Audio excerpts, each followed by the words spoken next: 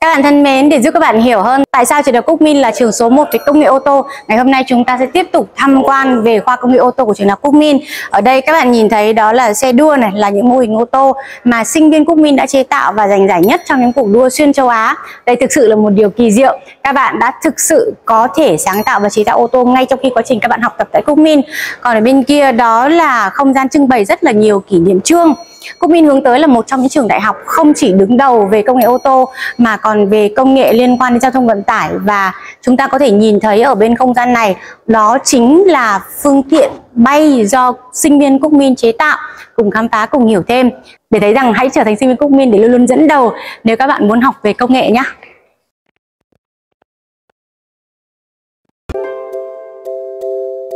thank you